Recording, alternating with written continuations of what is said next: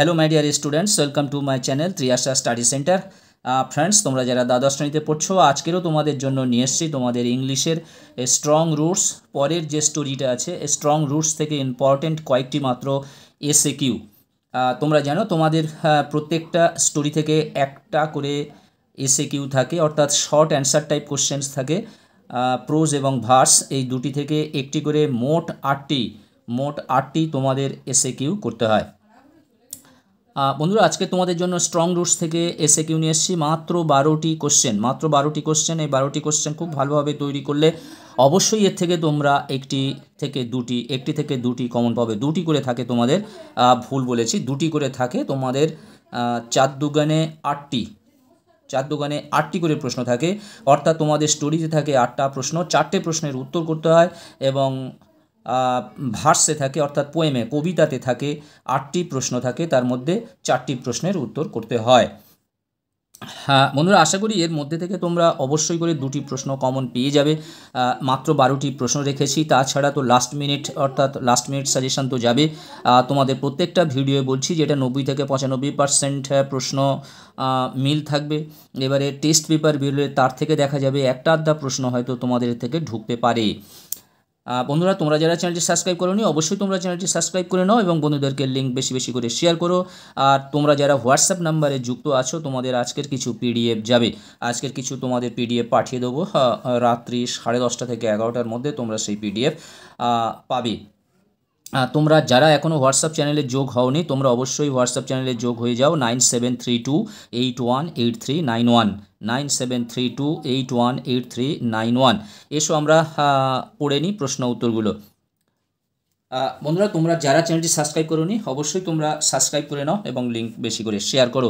একের দাগের প্রশ্ন in which town was doctor APJ Abdul Kalam born কোন শহরে এপিজে আব্দুল কালাম জন্মগ্রহণ করেছিলেন? Doctor APJ Abdul Kalam was born in the island town of Rameswaram in the erstwhile Madras erstwhile Madras মানে রামেশ্বরমে town শহরে অর্থাৎ দ্বীপ শহরে, একটা আইল্যান্ড টাউন বলেছে। দ্বীপ শহর রামেশ্বরমে যখন জন্মগ্রহণ করেছিল, তখন মাদ্রাস নাম ছিল। তখন ওই জায়গাটার নাম ছিল Madras. In whom did Abdul Kalam's father have an ideal helpmate in whom did Abdul Kalam's father Abdul কালামের বাবার হ্যাভ অ্যান আইডিয়াল হেল্পমেট অর্থাৎ একেবারে আদর্শগত দম্পতি বা সাহায্যকারী বা সঙ্গী সাথী কে ছিলেন? Abdul Kalam's father, found an ideal helpmate in Kalam's mother Ashiamma mother's Ashiamma who was bestowed the title of Bahadur in strong roots. Strong roots কবিতায় কে bestowed title of the Bahadur Bahadur উপাধি পেয়েছিল ইংরেজদের দেওয়া বা ব্রিটিশদের দেওয়া থেকে বাহাদুর উপাধি কে পেয়েছিল? অ্যান্সার হচ্ছে one of Kalam's mother's forebears forebears was bestowed the title of Bahadur by the British in strong roots তারপরে দেখো চার দাগের প্রশ্ন describe the ancestral house of Kalam কালামের এনসেস্ট্রাল যে পৈতৃক বাড়ি। পৈতৃক বাড়ি সেটা বর্ণনা করতে বলেছে। অর্থাৎ উত্তরসূরি।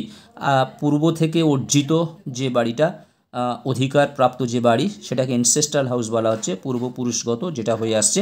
Abdul Kalam's ancestral house build in the middle of the nineteenth century উনিশ শতকে এটা তৈরি হয়েছিল উনিশ শতকের মাঝামাঝি ওয়াজ এ ফেয়ারলি এলে আর জি হবে, এটা আর হবে large fairly large pucca house made and limestone and brick on the mosque street in Rameswaram রামেশ্বরমের mosque স্ট্রিটে মস্কো স্ট্রিটে লাইমস্টোন মানে চুন, সুরকি এবং ইট দিয়ে একটা পরিষ্কার, পরিচ্ছন্ন, বড় সড়ো পাকা বাড়ি তৈরি হয়েছিল।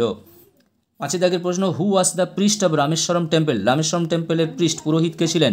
Pakshi, Lakshmana Sastry was the priest of Rameswaram temple in strong roots who was a very close friend of Abdul Kalam's father Abdul কালামের বাবার সবচেয়ে নিকটতম বন্ধু কে ছিলেন? নিকটতম বন্ধু কে ছিলেন?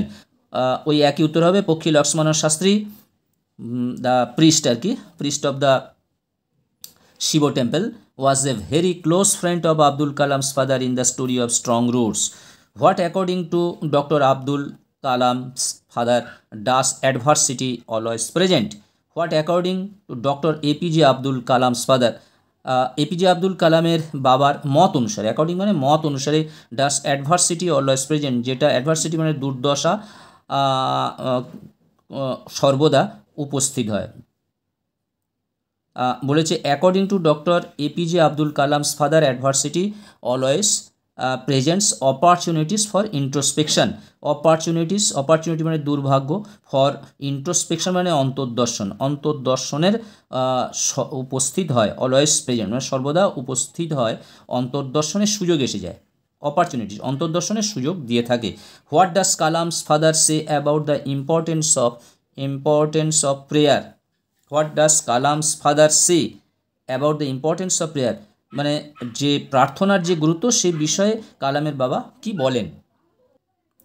অ্যান্সার দেবো Kalam's father said that there was nothing mysterious about prayer rather prayer made possible a communion of the spirit between people কালামের বাবা কি বললেন? কালামের বললে বাবা বললেন, যেটা রহস্যজনক ছাড়া আর কিছু নয় প্রেয়ারটা হলো একটা রহস্যজনক ছাড়া অন্য কিছু আর নয় it is prayer made possible এই যে প্রার্থনাটা, এটা সম্ভব হয় যে কমিউনিয়ন কমিউনিয়ন মানে যোগাযোগ করা দ্য স্পিরিট বিটুইন পিপল মানুষ এবং মানুষের যে আত্মা, তার মধ্যে একটা যোগাযোগ স্থাপন করে দেয়।